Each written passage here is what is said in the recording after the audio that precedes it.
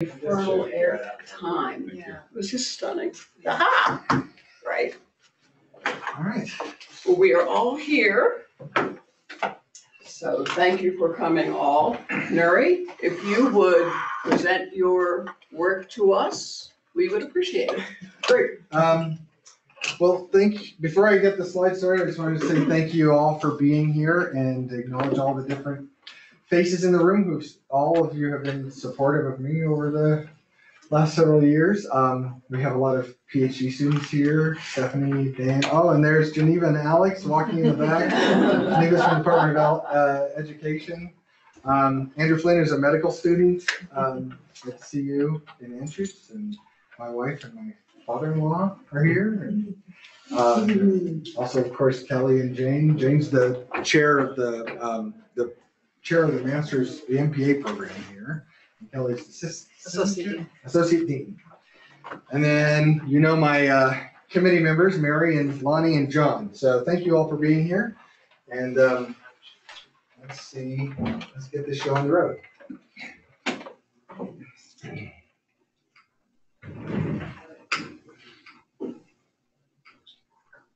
Technology is working.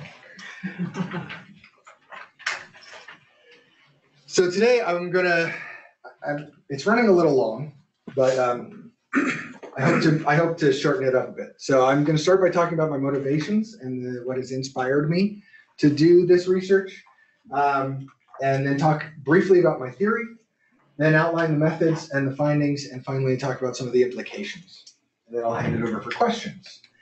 Um, so my primary motivation is I came from Denver Public Schools. Now my kid is in Denver Public Schools. And this photograph was taken while I was at the Denver Zoo as a volunteer chaperone. So here I was engaging in public service. And I was engaging in public service with a school that is 70% children of color, uh, more than 60% um, free and reduced lunch. My kid is um, non-traditionally gendered, and their best friend is black. And here I was, a white man, trying to engage with this madness and trying to make sense of how I fit into this and how I could deal with my identity was really the inspiration for how I could improve my public service and my service uh, to academia. Um, and then last Friday, you know, we had an attack, another attack. And um, there's not much that I can do really to help, but I really feel compelled to help. So I wanted to dedicate this presentation um, to the people in New Zealand who are suffering right now um, because of these issues. Because that's what I can do. So um, that's why I'm motivated. And here's my inspiration the literature that I rely upon, the shoulders that I'm grasping while I try to climb this uh, project. And it really lies in three major areas public administration theory, institutional and organizational theory, and then critical oppression theory, which is how I'm grouping feminism and critical race theory. In uh, public administration theory, I rely heavily on works by critical feminist and critical race scholars such as Foldy and Buckley and, uh, of course, Dr. Stivers. Um, I rely heavily on the representative bureaucracy literature as presented by Norma Riccucci and Sally Selden. Um, social equity literature from Susan Gooden and George Frederickson, and the publicness literature out of Barry Bozeman and Stephanie.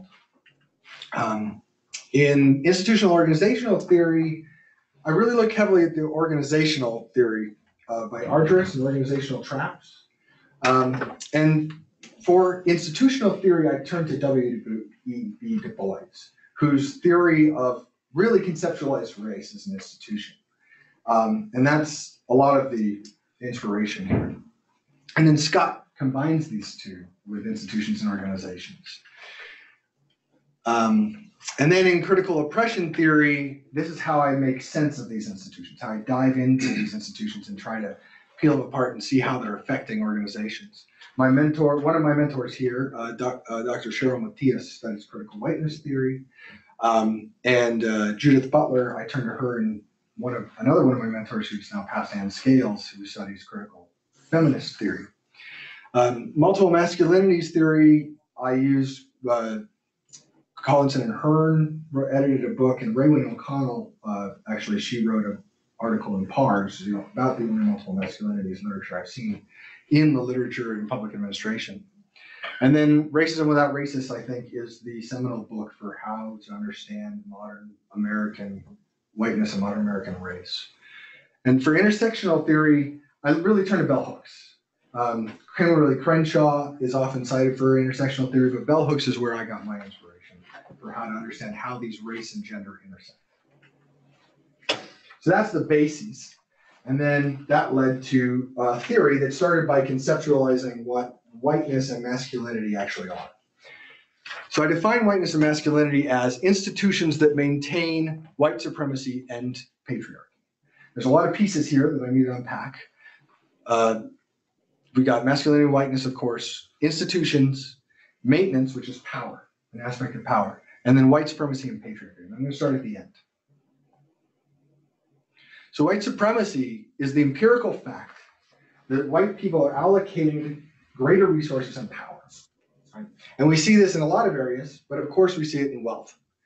And to this day, white people have exponentially more wealth than black people and Latinos. And in fact, even though Asian Americans have more income now than they've done in previous times, they still, there's a large wealth gap between whites and Asian Americans as well. Um, Patriarchy then is the empirical fact that men are allocated greater resources and power. Recently, we had an election that's been called the Year of the Woman. You know, we have 106 seats are occupied by women in the House of Representatives, but that's still only 24%. Right? So we have a long way to go, even after the Year of the Woman election, and 25% of the Senate. Now, these are controversial terms, and they can raise the stakes a lot of times. But I think these terms are necessary to be used because when I look at the history, I don't see a point where old white supremacy and patriarchy ended and a new system emerged to replace it. As you can see, there was this, uh, we have Brown versus Board in 1954, and there were no integrated schools in the South. Then integration started to occur, but since the 80s, we've been having another round of segregation. The same process, before we came to equality, the same process reinvested itself and strengthened itself. So we're dealing with the same structures that we had in the 60s. And so I think it's necessary to call it by its name.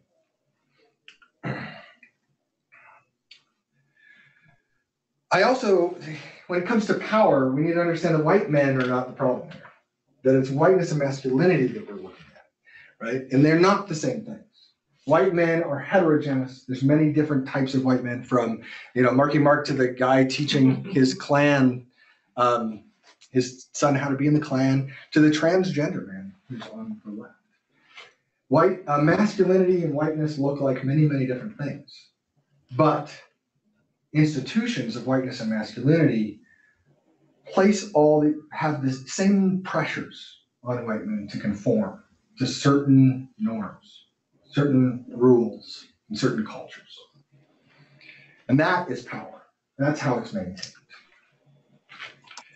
So institutions then are collections of rules, norms, and culture that dictate meaning for social life.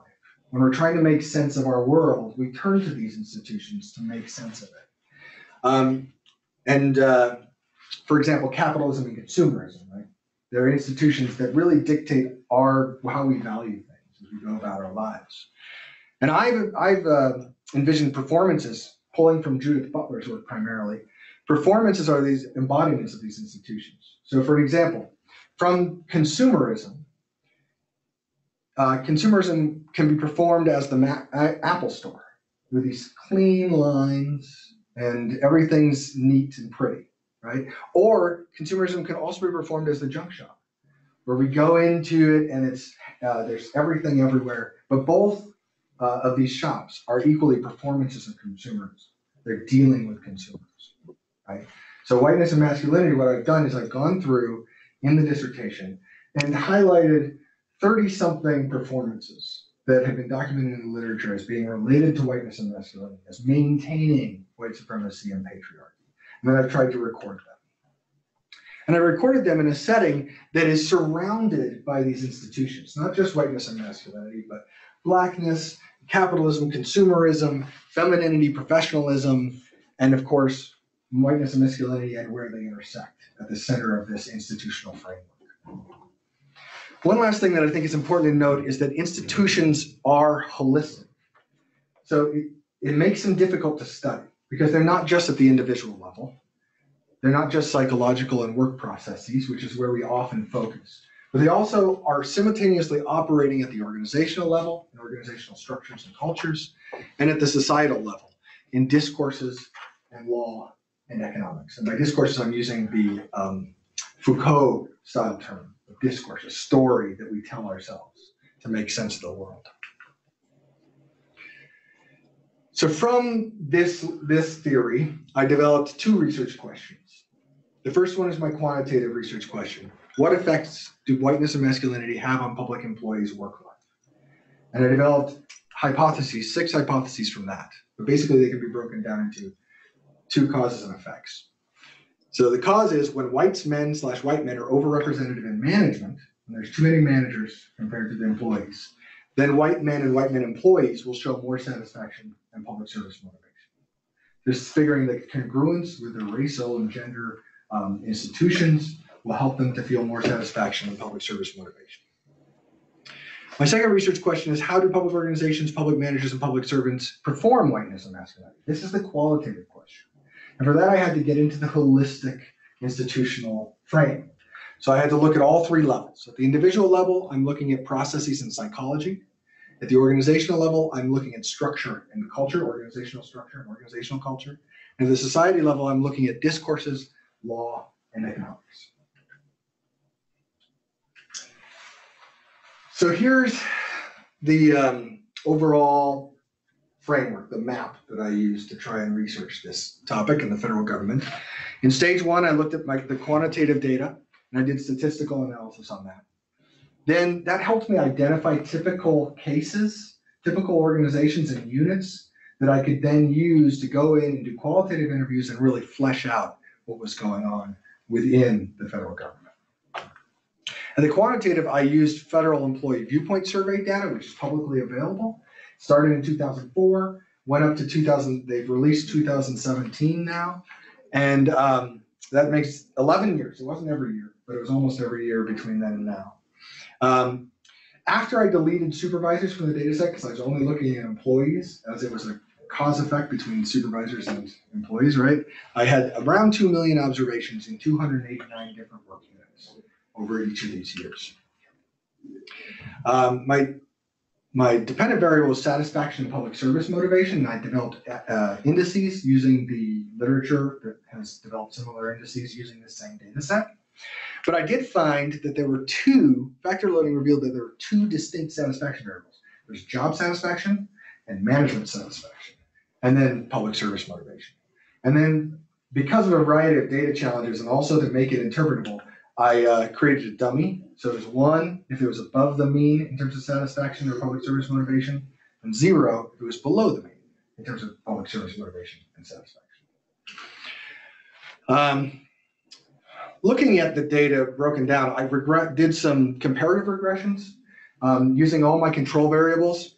And we find that job satisfaction, management satisfaction, public service motivation all sort of work differently. They operate differently. So job satisfaction, you can see that men of color and white women are significantly different than white men, but women of color show about the same job satisfaction. Whereas it's more of a racial thing with satisfaction with management. White people tend to be happier with their management than people of color. And then in public service motivation, men of color are the most satisfied and white men are the least satisfied and women of color and white women are lie in the middle. So it's very complex, these interactions. So when I divide it into white and people of color and men and people who aren't men, I'm really breaking down a lot of sophistication to, a lot of the complexity is lost. But that's one of the limitations. My independent variable is whiteness in masculinity management. So I took the proportion of supervisors who are white, and then I calculated the proportion of employees who are white, and I subtracted one from the other. And that equaled my measure of whiteness in a given year. Um, so we see that whites are overrepresented in management by about 7% and as much as 64%. Men are overrepresented by 12% and as much as 70%, 72%. And white men are overrepresented by twelve percent, as much as seventy-six percent. And I also think that that's important to note that this is, the EOA was nineteen seventy-two. This still, this shouldn't still be a problem, right? We're forty years on now, so this shouldn't be a problem. Um, and then I did controls for organizational size, resources and hygiene. I tested several controls. These were the ones that actually had a large explanatory value and were the most valuable. So these are the ones I kept. I analyzed using Logit fixed effects clustered on two hundred eighty-nine units with robust standard errors. So then qualitatively, I turned to Dorothy Smith in institutional ethnography. And I did this because she highlights gender as a problematic, a way of understanding the world um, through the lens of, uh, through basically a feminist lens. Um, and she also highlights the work that individuals do to maintain gender. So what I was really looking at was the work that these individuals were doing, the white men in my study, were doing to maintain whiteness and maintain white masculinity. And of course, I used the typical cases sampling, which is to say I used the statistical analysis to decide which work units I could and could not uh, interview. I did fourteen interviews, seven of them were white men, five with women and five with people of color, so there were some women of color in there. Um, in eight different agencies from DC, rural Virginia, and Denver. And uh, from the entry level, the lowest person was in the entry level, just started in the federal government. The Highest person was the highest ranked career employee in their agency.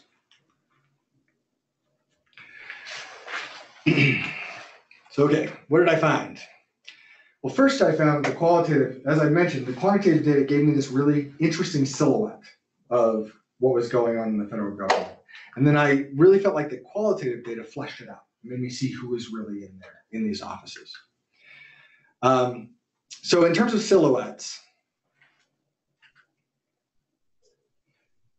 I was able to confirm four of the hypotheses, which is to say that whites, men, and white men all exhibited more public service motivation when their managers looked more like them.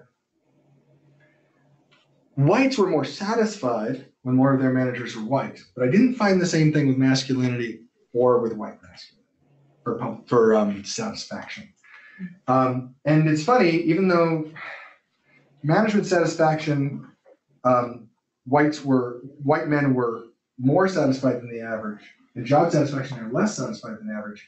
Actually, in the end, the regressions turned out the same for management and job satisfaction. So I combined those in the hypotheses. Now, there's some limitations here that I want to mention. First of all, that I have this huge data size, so I should have found p-values for everything.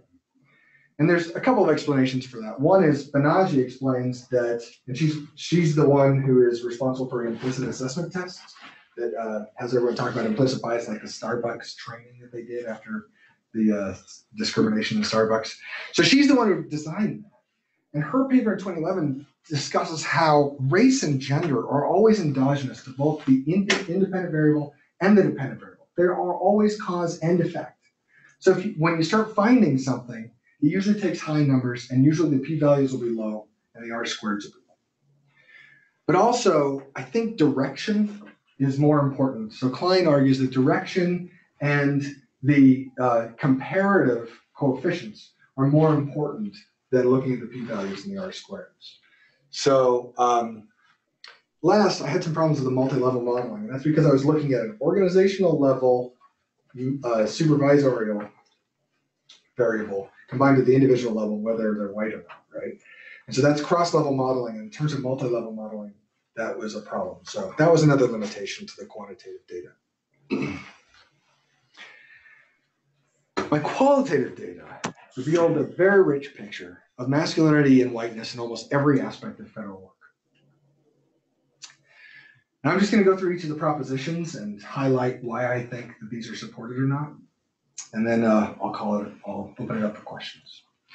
So in the individual level proposition number one, I have strong support for the idea that public servants' daily tasks include performances of whiteness and masculinity. For example, minimization is this idea that white people and men will say, look, sexism and racism is a thing of the past, or it's not that big a deal. You know, you should basically calm down. It's a way of sort of making sense of race without they themselves feeling like they're involved in racism.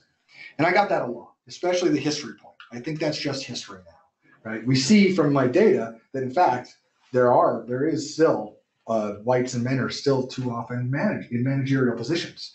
So to say that it's history is factually inaccurate, but it's a good way to minimize it. Another way that we found minimization is by people saying, it's not history yet, but these young people, they're gonna change it. So we just have to wait for the old people to retire, right? So that's another way that I found people were minimizing. Um, I also found a lot of microaggressions and macroaggressions. For example, this man of color said that every time he spoke to one of his coworkers, he had to consider the consequences. So over the years, I've realized that a few individuals, how far I take it, by that he means talking about race, is how much they're not going to talk to me for two days. Your coworkers aren't talking to you for two days. So individual proposition number two, I find strong support for public servants uh, making sense of race and gender through whiteness and masculinity. For example, colorblindness, which is the primary articulation of race and gender in our day and age, um, is colorblindness and gender blindness or gender suppression.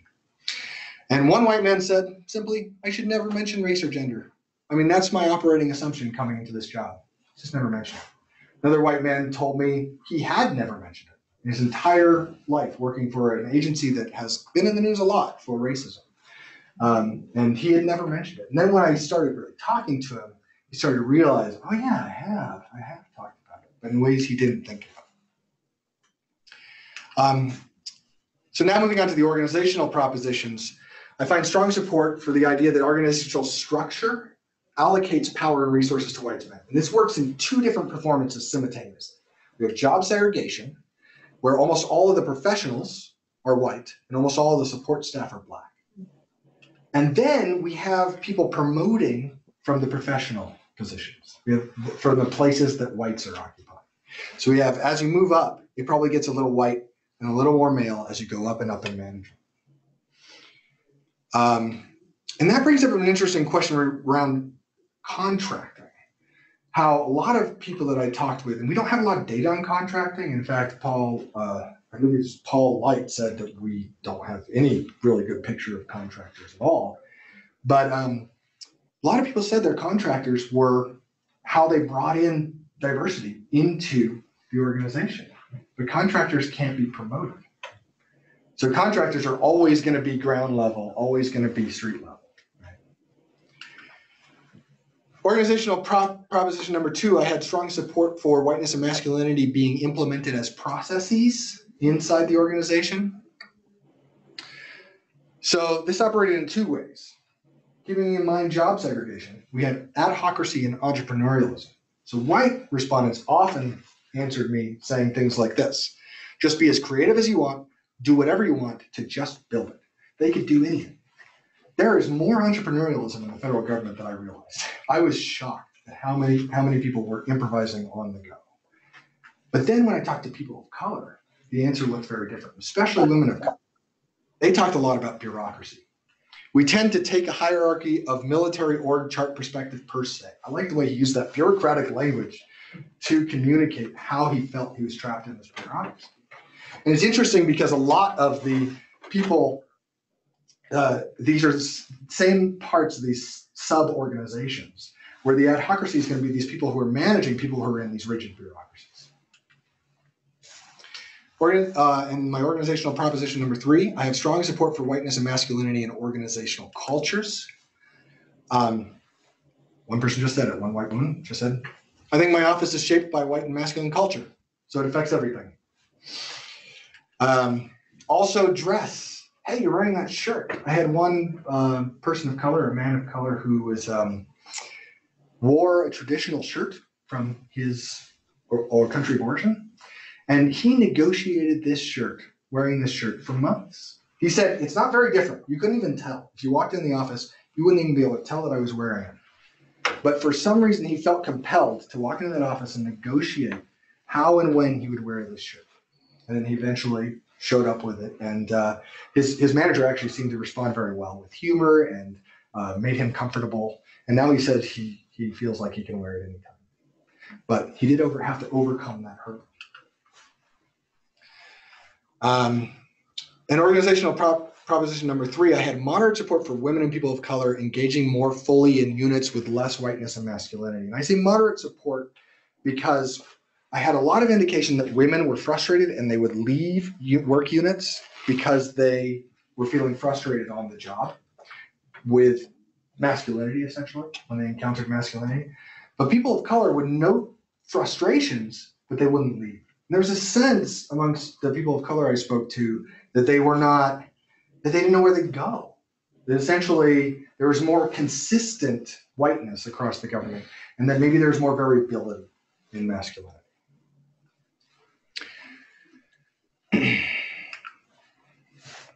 Yeah. When it came to the society level propositions, I wasn't able to record a lot about it. And this is the challenge with holistic institutions, is to record all three levels at once is, is difficult. I think I'd have to go back and actually do second round of interviews to record a lot of data.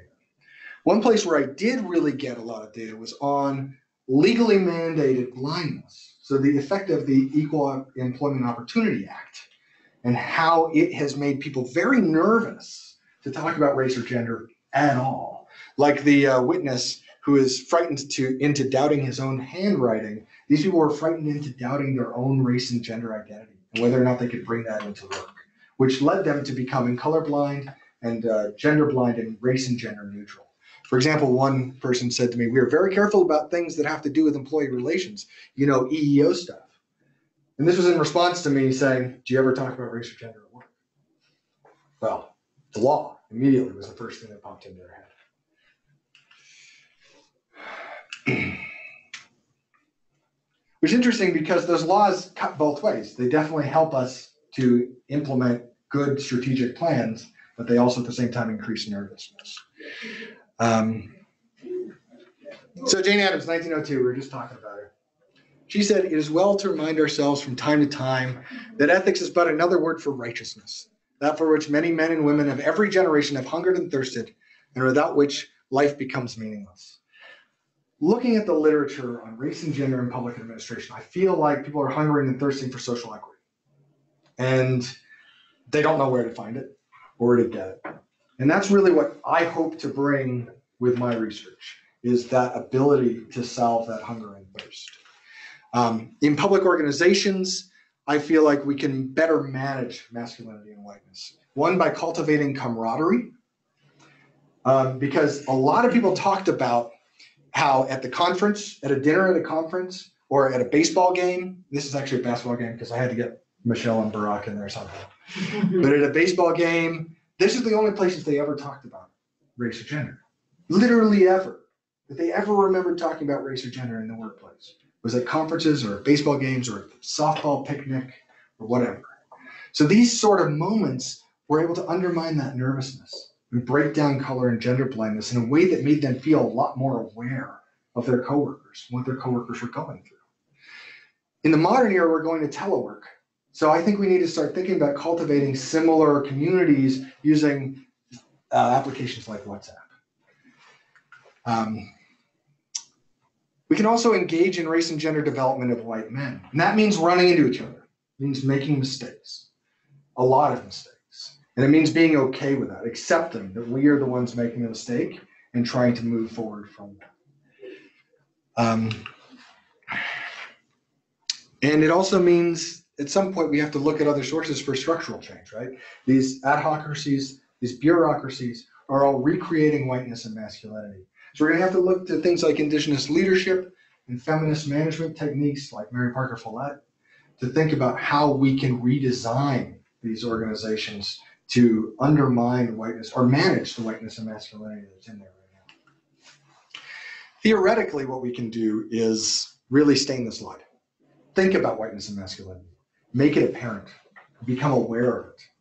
Just as a biologist has to stain the slide to see the cells of a micro of an organism. And we, we're doing that in public administration in a variety of ways. So in institutional theory, we can start thinking about not just the action arena, right, and all the institutions that are, how that's uh, within an institutional context, but start breaking down the institutions that are in that action arena and figuring out how whiteness and capitalism and uh, blackness and masculinity are all interacting in these areas and really make sense of these institutions. In public and nonprofit management, we can think about not managing diversity, but managing whiteness, and managing white masculinity. Uh, in representative bureaucracy, perhaps there's no such thing as passive representation. Perhaps it's active representation of whiteness and masculinity. Um, in organizational theory, we can think about alternative ways of organizing our, our, um, our public organizations so that we can manage whiteness and masculinity better. Human relations theories and practices, we can start thinking about camaraderie as a important way of managing diversity or managing whiteness and masculinity. And in social equity, we can figure out how to better engage as people who look like me, really engage in this project that we're undergoing, this way that we're hungering and thirsting for social equity. Oh, yeah. I'd like to say last, a big thank you to all the committee members and to my family and my friends and colleagues and mentors and everyone else who is here and has helped me through this journey. And don't have questions. I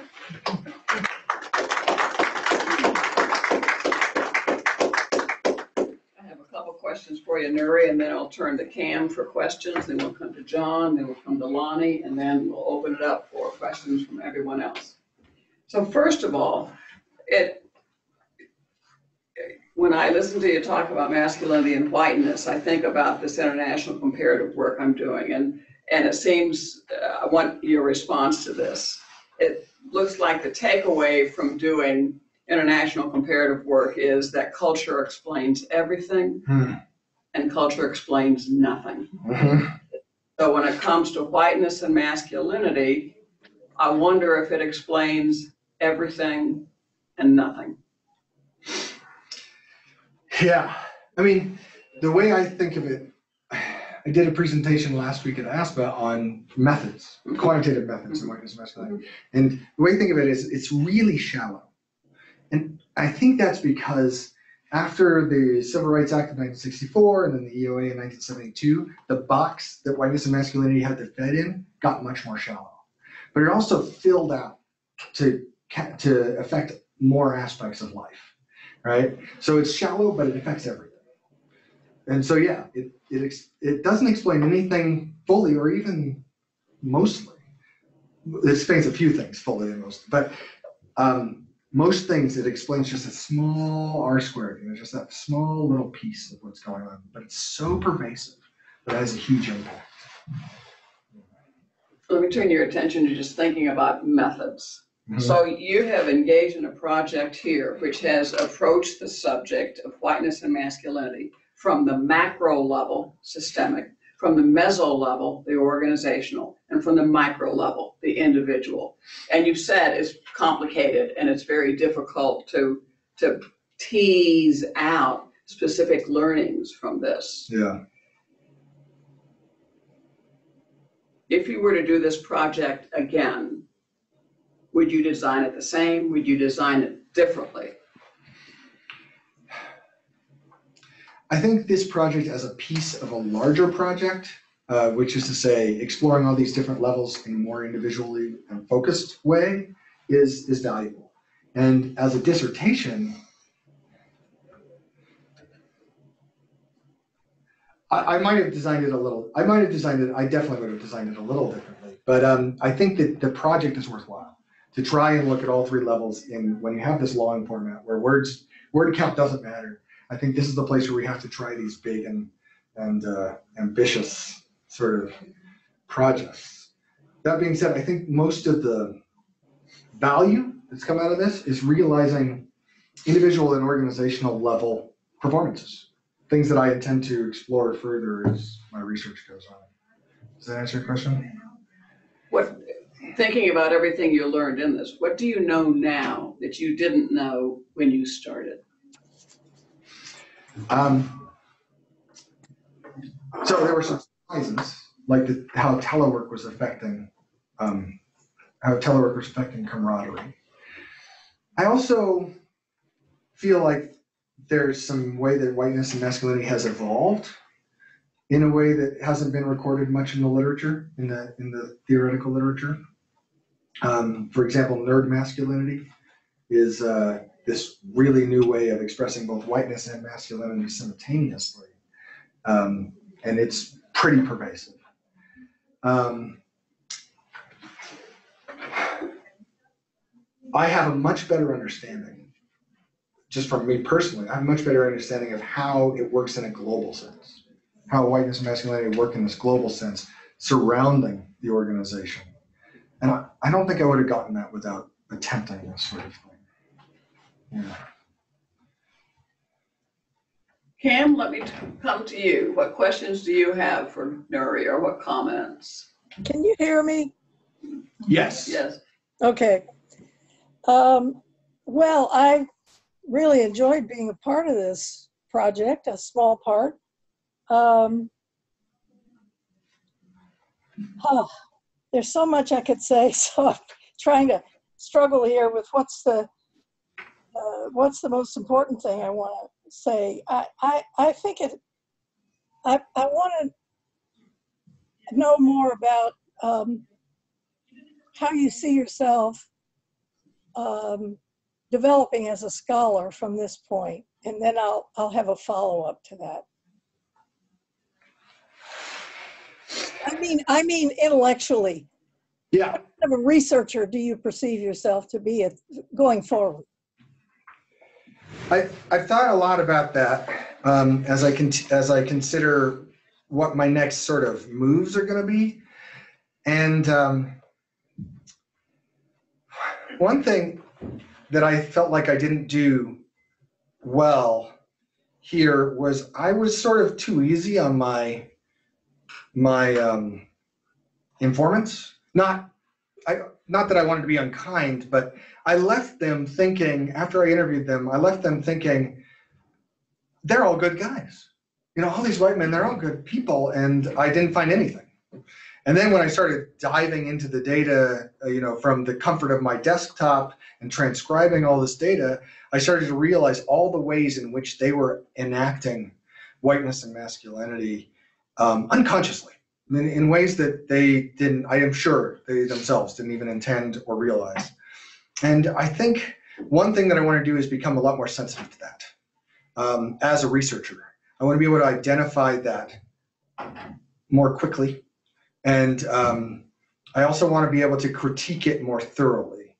So I think moving toward that critical perspective that is um, personified by yourself and by Dr. Matthias, by Dr. Cheryl Matthias, um, in the way that you can s- see how these things are connected.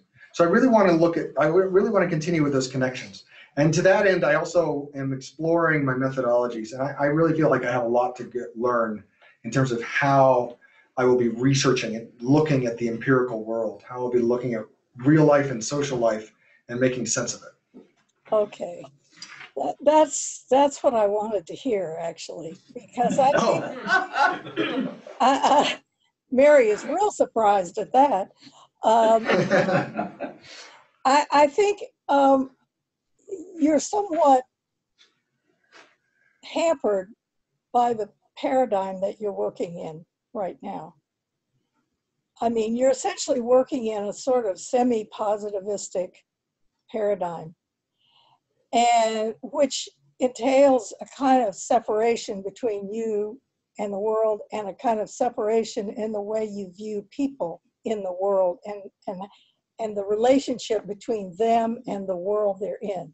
So i guess what i'm suggesting is that you might it might be interesting for you to explore um, another way of doing this research which is less about separating yourself from the field that you're studying and the people from the field that they're in, uh, i.e., reality, yeah. and, and enable yourself to come at it from uh, a different paradigm that that will begin to reveal to you the the dynamics of the social construction that's going on that is the source of things like whiteness and masculinity.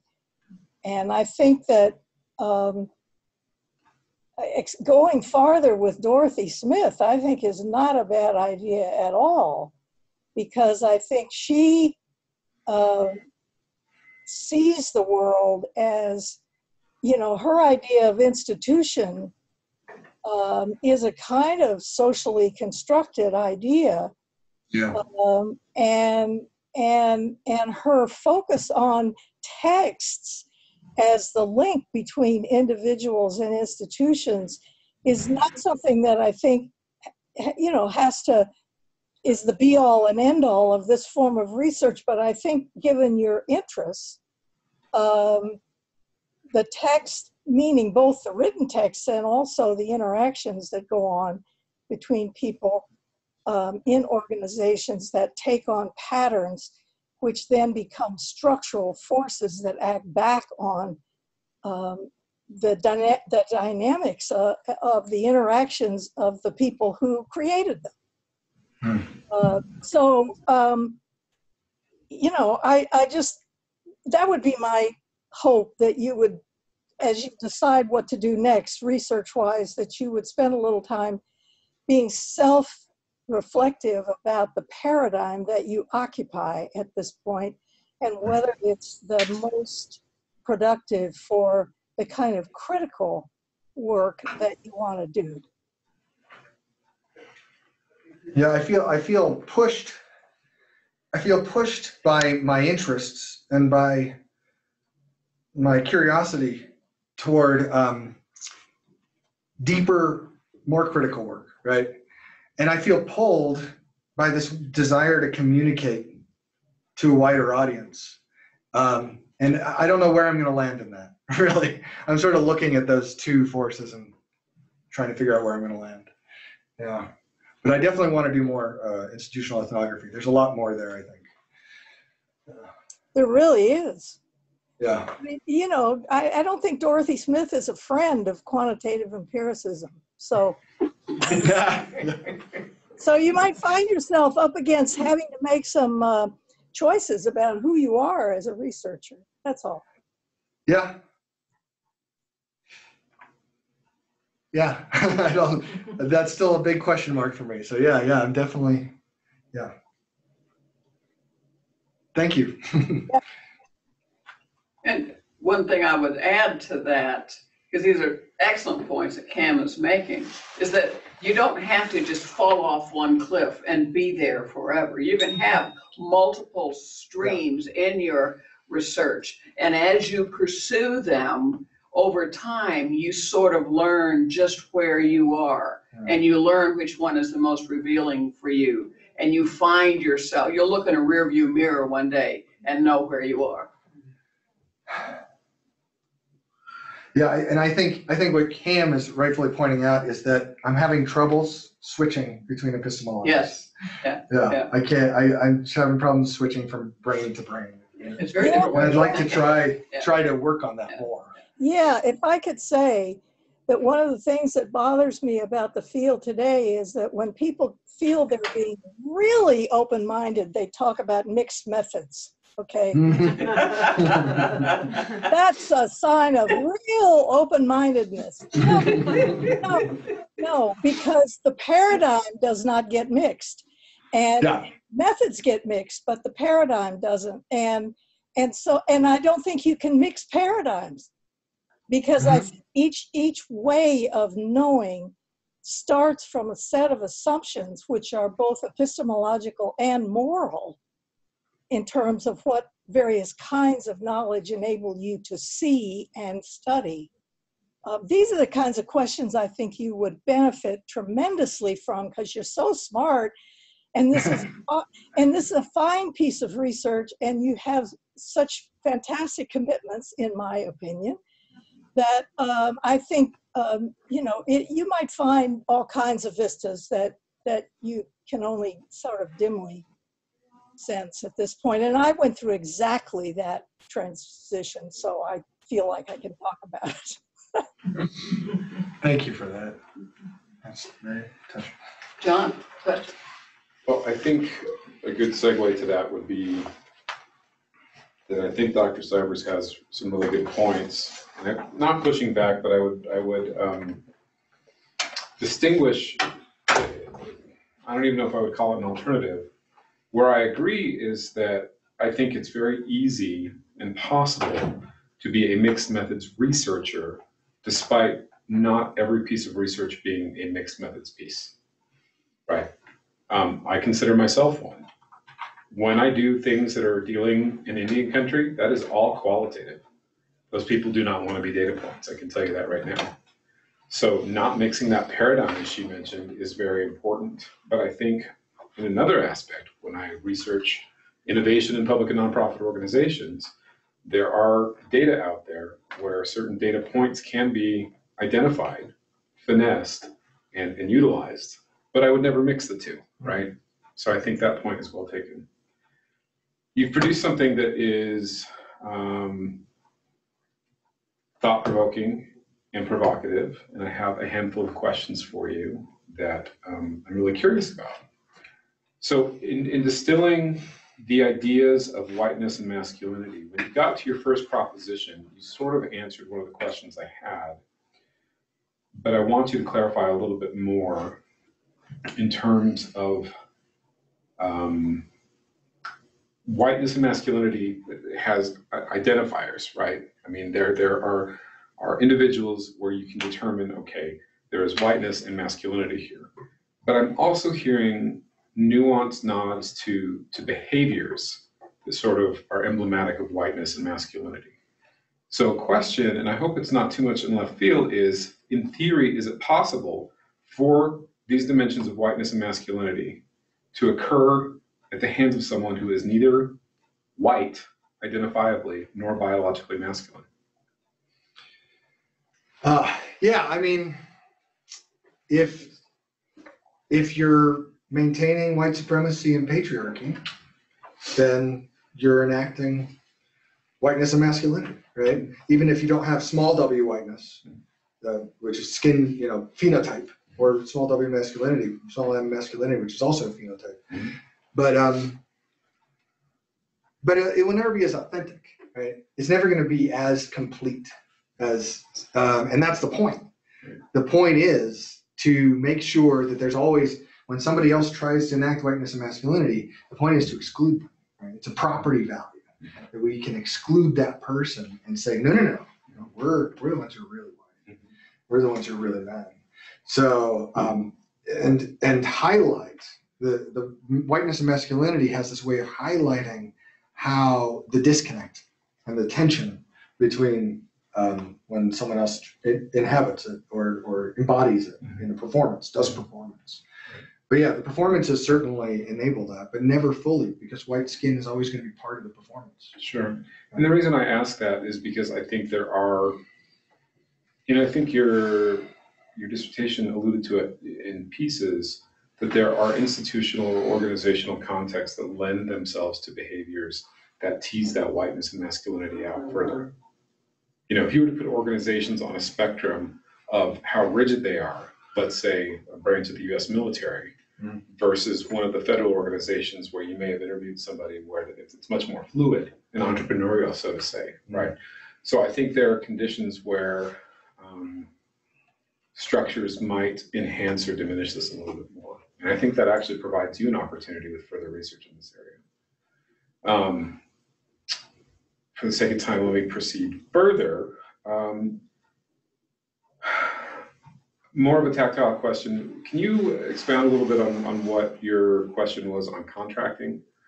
Yeah. You, you brought up contracting and you seemed a little um, stymied by, by- um, clarify that for me. I, I don't. So- latch onto it as much. when this contracting theme started coming out of the my qualitative data, I noticed that every time a contractor was mentioned, whether it be someone who's doing data entry or answering the phones or janitorial services, right? Anytime they mentioned a contractor, it was they they said, and there's there's a lot of name the people of color, right? Mhm. In that, and there's a lot of women doing that. So I noticed, and one person blatantly said it. He said um, something along the lines of, if we want to bring diversity into an organization, we hire a contractor. And so that got me, yeah. And that got me think, looking deep, di- diving deep into the literature, looking for data on what, who, who are these contractors? Who are government contractors? And it turns out, there's no, I mean, Paul Light says, we don't have the data. They're just not there. So we have no idea who these contractors are. We That's can why we have contractors, so that there is no accountability on that. That's why it exists. And, and that's why I was gonna say, I mean, work by folks like Savas and Sclar, Johnston, Romzek, all these people who've looked at it in a much more tactile sense on the public management side. Yeah. They're not talking about the racial dimension that you include. No, no, nor gender. There is also a gender dimension. Because a lot of the people who are paralegals in a lot of these legal agencies, mm-hmm. they're being pulled in, they're, they're women of color, especially in DC. There's a lot of women of color, and they're, they're telling us, or, or my, my informants were telling me that they're not qualified. They don't have a paralegal's, paralegal license. They haven't taken the right classes to be a paralegal, but they're here, they're well-meaning, and the government will only pay for a contractor. So I've got to hire whoever comes to me. So, Okay. you know, Let's go to your point that you made about the EEOA um, back in nineteen seventy-two. And you, like many people, are probably wondering, well, you asked, you said, why is it still this way? Yeah, well, I go to even further, further past that. mhm, And because we're in a, a scholarly realm here, um, the fact of the matter is, is our field has been predominantly white. It's been predominantly male. yeah, We have scholars who still to this day love to put forward our founding fathers, and I have my rationale for putting them in quotes, as the preeminent founders of American public administration. I, I personally, as an intersectional cisgendered male, have a lot of issues with that. Then in 2019, that's how we're, what we're still talking, you know. Um, and, and there are certain scholars that, that I, I'm curious about you know, white slave owning men in the 1700s are still framing our debates on public administration. And you're shocked about the EEOA 1972, mm-hmm. hopefully opening that up. I am too, because that should have been a huge beacon, a huge shift, a huge shock to the system. If it was a time series model, we should see the implementation of that and we should see that curve shift dramatically, right? But you're saying we haven't. Well, I mean, there's been some shift, but it's certainly not, like, the reason why I mentioned that is because everyone I talked to said, look, we just have to wait for these people to retire. You know, wait for the old white men to retire and then everything will be okay. But at the same time, these same people were mentioning, and then we brought in all these women and people of color in the 1980s. So all these people were brought in at the entry level in the 1980s, women and people of color in this affirmative action plan that was inspired by the EOA. And um, yet we're still seeing white men are in charge, right? So there's there's a there's this permanence to quote Derek Bell. There's this permanence to race, this permanence to gender, and the hierarchy that that implies that um, isn't isn't going to be easily undone, if at all. So So are you saying we have not re- reached our tipping point then? I don't know that there is a tipping point to reach. I, I maybe I'm a little cynical, but I think whiteness and masculinity is are so they evolve so quickly. They they fill the space that we give them, and there will always be space because we can't legislate everything, right? So it's gonna I, in it's not gonna happen in my lifetime. I feel like so.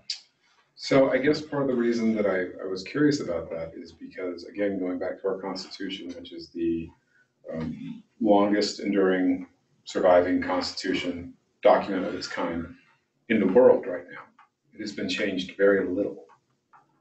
And yet, you pointed out the fact that we have more women in Congress than we've ever seen, probably more women and more uh, non-white uh, bureaucratic administrators than we've ever seen. Um, why do we still, like, I don't think the founding fathers truly expected someone like AOC, let's just say, right? Like, on the surface, in premise, right? Because if, if, if, if all of us had this notion of equality, even though at the time it was just lip service, and now we're actually seeing it come to fruition. But I guess my hope is, is how are you gonna use this work to further propagate the need to dismantle patriarchy, to dismantle white supremacy? Mhm. Because we've seen in theory and in practice that This is not something that we can be wholly objective on. Yeah. So I guess kind of transitioning to my last question. What, what, what, what's the future of this? I, I uh, feel a lot of tension as a white man occupying a space that has traditionally been occupied by women and women of color. And so many of my mentors were, are incredible women and women of color and people of color. And I, uh, I feel that brings, that makes me feel a lot of obligation. So I don't know entirely where it's going, but I feel like I can use my voice as I can. And um, I feel a very strong obligation to continue trying to do so. I guess, and that's all I can really Well, say at this point. for But yeah, one, you should be complimented because if you haven't already, you know that people are going to cock an eye at you and think, why is this white guy talking to me about whiteness and masculinity, right? Yeah, yeah. But I think it's fantastic that you are. And I think it's exceptionally praiseworthy that you are.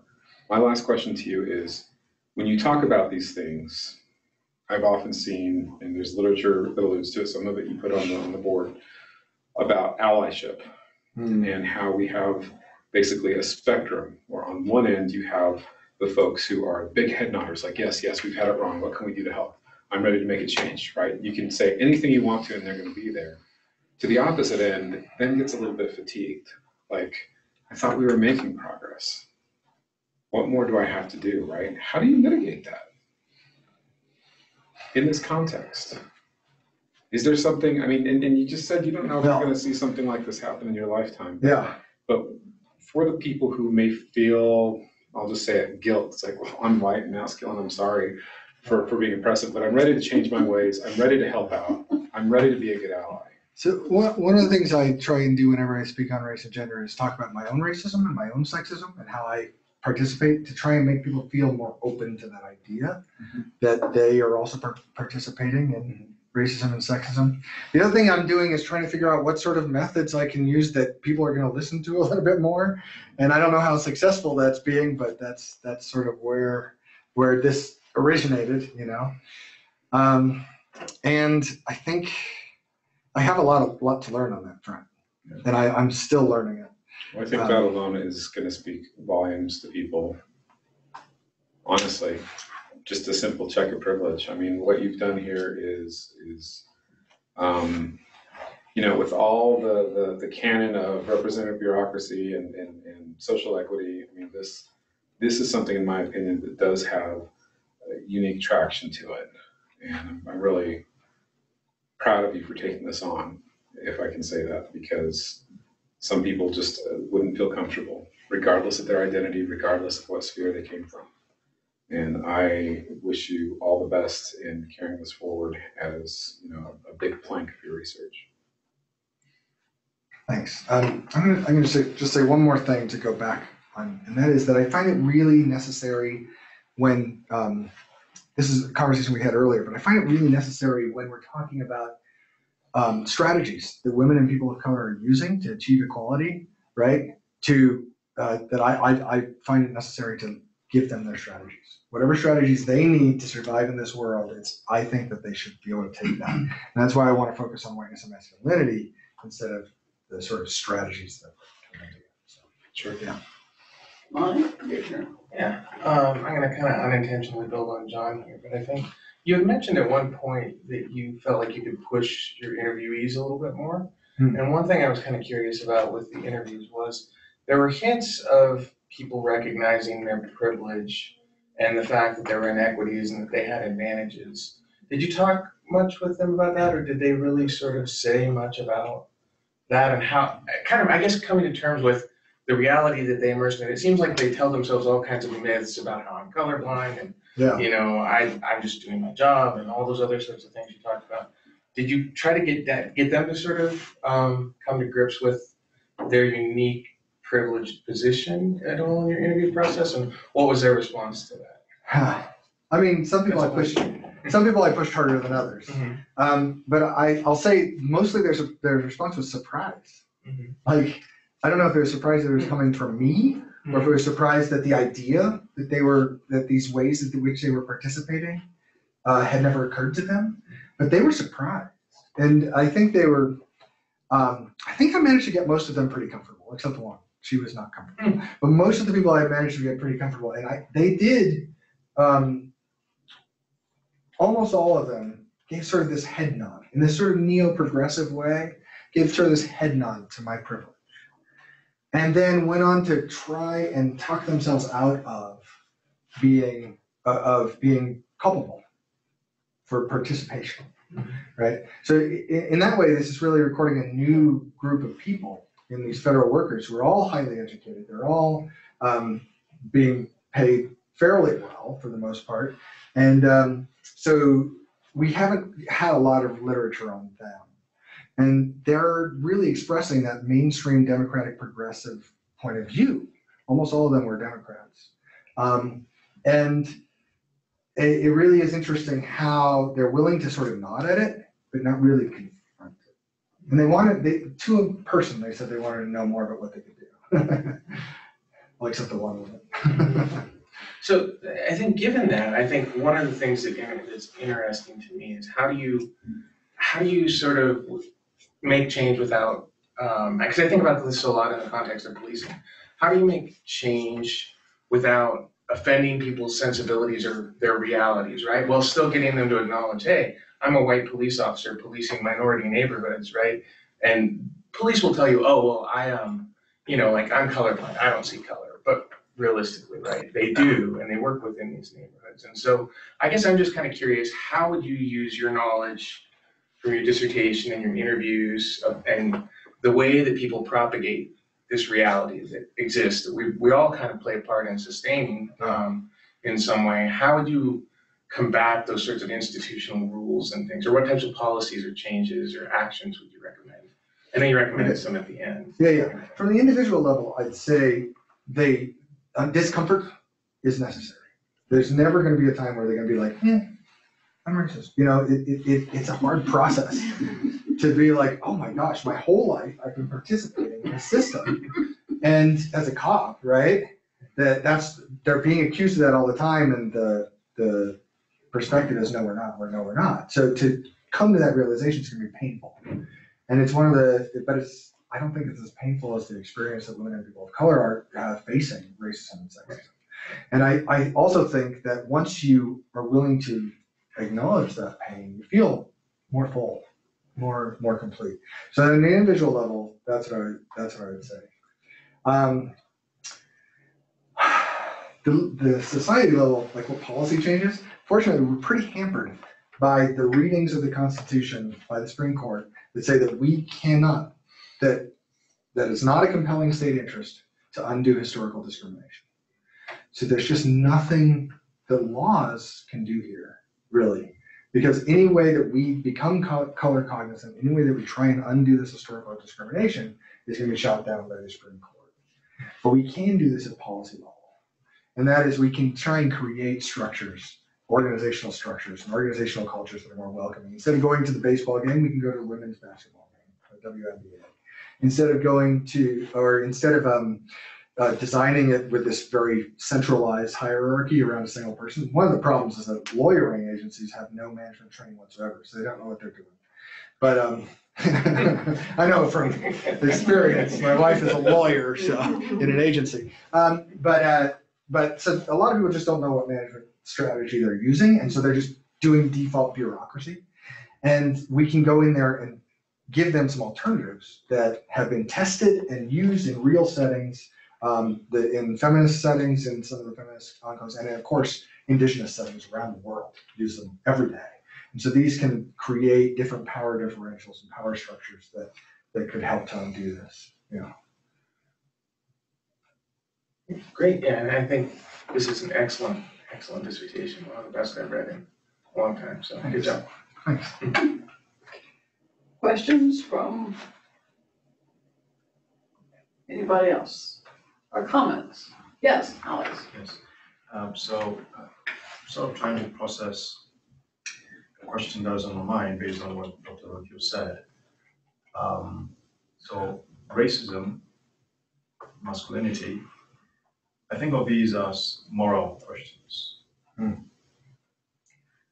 And we're trying to look at how these impact public administration. And that end of the pendulum, I think, is scientific. Hmm. Because they are sort of, in a way, undermining the kind of progress that we want to make as people, as as humanity, as human beings. So what do you think are some of the constraints in trying to deal with a moral problem from purely scientific, detached? And um, to what extent could that impact where you go with this very impressive presentation? Thanks. Um, Yeah, so there's no, I don't think there's any way to investigate race and gender from an objective scientific, you know, perspective. And I, I, I actually, looking at the literature, so, so early, um, early econometrics, right? You talk about statistics and how statistics were developed. They were developed proving eugenics. They're proving the eugenic theory that white people were superior to black people. So from the very beginning, they themselves were superior correlation coefficient actually was used, first tested, proving that white people were superior to black people, right? The normal curve, the, the, the Pareto curve that we all know, that was also tested, proving that white people were superior to black.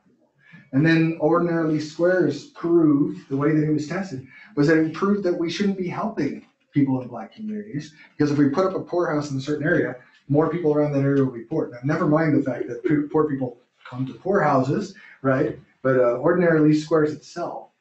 And it's because every model is subjective. Everything's subjective. There's no way to be objective. The only thing we can do is put our subjectivity on the table So here it is. And critique it along with my work, right? And this, this move toward third person objectivity is denying us a very crucial piece of what it means to do good science. Um, so that would be my response to that. Um, and uh, that's gonna, but then that goes back to what Ken was saying and my pragmatic decision to use quantitative methods as well as qualitative methods. And that is to say, people don't wanna hear that. Right? So you have to say it. Someone was mentioning the other day, oh, Maria Nagawa. Remember Maria Nagawa from last year, anyone? So Maria Nagawa said, was saying the other day that in one of her classes, someone presented on whiteness. And he ha- kept having to say that this is a fact. And I, I find, I do the same thing in my slides. There's an empirical fact that white men are, have more power resources, right? Um, but that's what we have to do. We have to show them every step along the way that our bias is a fact. It's, we, we know we've recorded it. We can see it. And then we have to try and place it on the table and counteract it. Yeah. Whether it's a moral question is a different question. And it is, there's also an empirical question, right? There's the moral question about whether or not we should be doing whiteness and masculinity. And the question that I've tried to attack in this dissertation is whether or not whiteness and masculinity is there, which should be self-evident, right? Because all of our founding farmer, framers and everyone else. But, um, but to be able to identify what it looks like, now we can start to, for those public servants who want to undo it, I'm not that, right? I'm just trying to give them tools so that they can dismantle it. Good response. So, Oh, sorry, I, you can go ahead.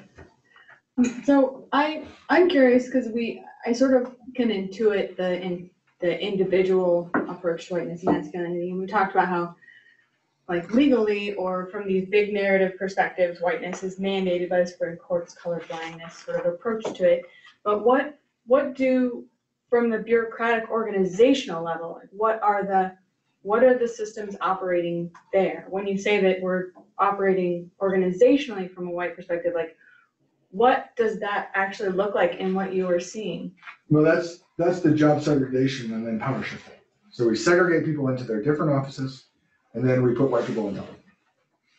Or men, white, white people and men. And actually, the data show that there's more men now than white people, so it's sort of confusing. I mean, it's still, there's still a lot to be mined. But, um, so yeah, that's where that's coming from. And to undo that, I suggest going to alternative forms of management within individual offices and within agencies as a whole. So we have the technology now that we can be doing a much more open and democratic system of management among bureaucrats. And as we have made bureaucrats more representative, we're still not there yet, and we might be going backwards, but as we've made them more representative in the last thirty years, to go to a de- more democratic system would actually make it a more democratic model of implementation. Um, But we need social equity before we can hit democracy, not the other way around, right? If we don't have poor people and people of color and, and women at the table, it's never really a democracy. So in bureaucracy, we have more of that than we do in the represent, in the elected branches of government. So we can start to bring some of that perspective if we can get to a flatter structure in those agencies. Whether or not that's gonna happen with political appointees, well, that's a different but I think we can get there. Stephanie, you had a, had a, Yes.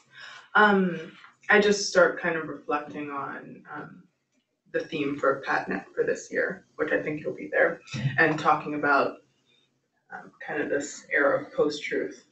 So I'm just curious, kind of with what you were talking about was Alex's question.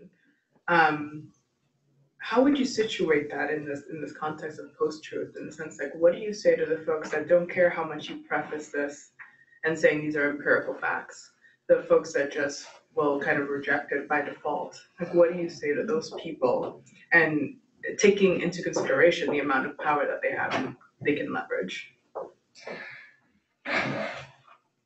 My research does not approach those people very well.